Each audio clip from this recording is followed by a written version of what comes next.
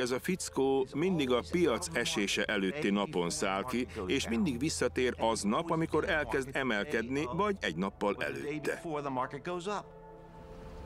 Tökéletesen egyetlen egy menedzser sem tud időzíteni.